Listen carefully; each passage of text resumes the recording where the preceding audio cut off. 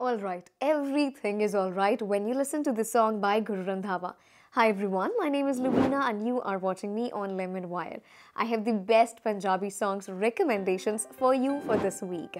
So the first song that I just mentioned is by Guru Randhawa which is recently published on YouTube and this song is written by Raj Ranjodh. Everything is alright says Guru Randhawa.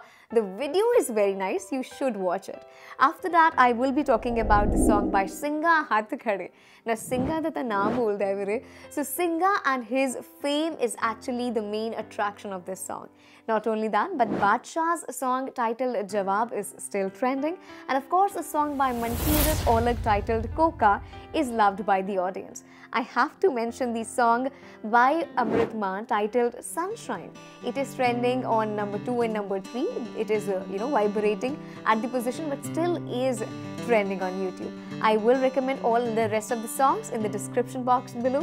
Make sure to check that out. And thank you for watching this video.